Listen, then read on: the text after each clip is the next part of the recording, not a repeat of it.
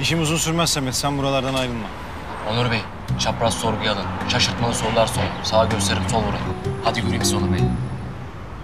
Bir şey olursa ben buradayım ama.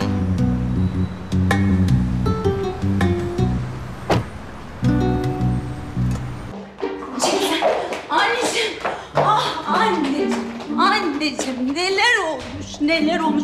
Ah, duyar duymaz geldik anneciğim. Bulduk anne. Ne olmuş Betül?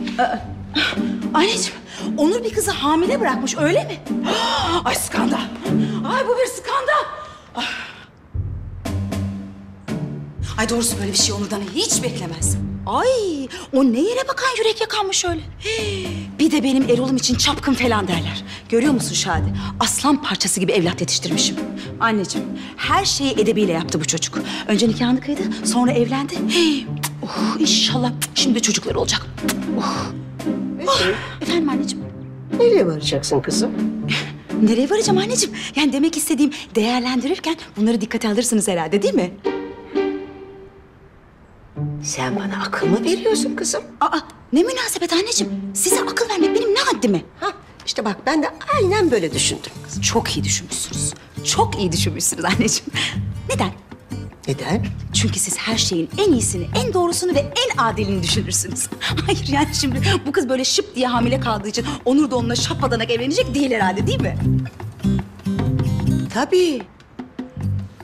Elbette. Katiyen evlenmez. Hatta çocuk da nikahsız da olsun. Saçmalama Betül, saçmalama.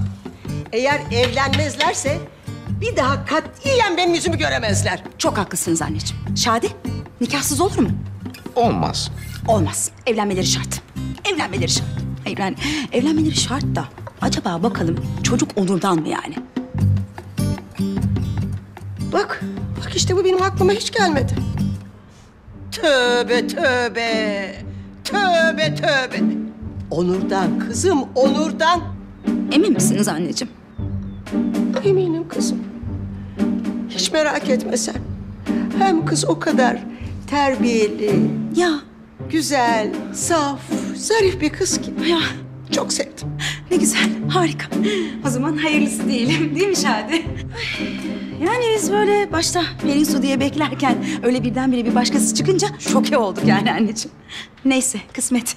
Ay böyle de demişler. Kime niyet kime kısmet demişler değil mi anneciğim? Ee, bu işler böyledir. Kime niyet, kime kısmet. Anneciğim siz Türkiye'nin sayılı ailelerindensiniz. Şimdi bakın bu öteki aile miras meselesini duymuş olabilir. Neden? Çünkü yerin kulağı var. Bakın çok iyi araştırmamız lazım. Çok iyi soruşturmamız lazım. Hayır söyleyeceğim söyleyeceğim ama siz zaten her şeyin en iyisini ve en doğrusunu düşünürsünüz. Ben size akıl verecek bir insan değilim yani. Betül, Efendim anne? kızım bir nefes al. Bir nefes al. Bir nefes al da kızcağız ne içersiniz diye sorsun. Ne alırdınız? Ben bir Melisa çayı alayım. Bugün başka türlü bitmeyecek galiba. Ben de bir kahve alayım. Annemle baş başa sohbet ederiz.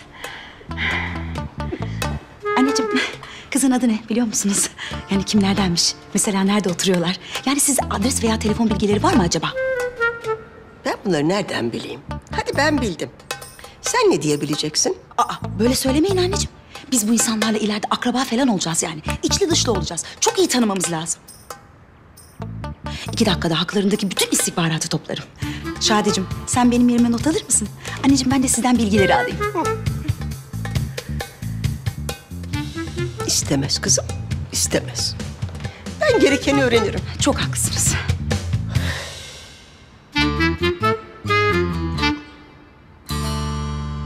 İçimdeki aşk esir almadan